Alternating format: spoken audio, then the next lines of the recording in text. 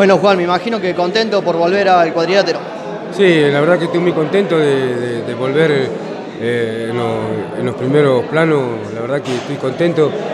Bueno, me avisaron una semana y media y bueno, yo ya hacía dos meses que estaba entrenado y bueno, acepté pelear con Barrio Nuevo, que es un boxeador que no es fácil, pero bueno, tengo toda la experiencia y, y voy a dejar todo porque hice un buen trabajo ¿no? y esta es mi gran chance. Hablando de experiencia, se cumplen 15 años de tu debut profesional. ¿Cómo, ¿Qué diferencia hay entre aquel boxeador y este que va a pelear contra el Joya? Eh, eso, dos categorías más, porque yo siempre peleé en la 61 kilos, ligero. Pero bueno, eh, acepté esta pelea porque estaba entrenando y no me salía a pelear y bueno, y acá estoy. Eh, gracias al, promotor que me, que me llamó y bueno, estoy contento y voy a dar lo mejor para, para que salga una buena pelea.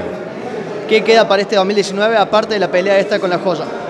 Tengo muy, muchas propuestas buenas de esta pelea, ganando esta pelea tengo muchas propuestas buenas, pero bueno, hay que ganar esta y después lo otro viene solo. Tenés 35 años, la joya 30, ¿crees que puede significar algo esa diferencia de edad? No, estoy acostumbrado yo a, pelear con gente también de mucha más edad, de menos edad también. Bueno, tranquilo, tranquilo y, estoy para, para, lo que se viene. Perfecto, muchas gracias. No, gracias. Vamos,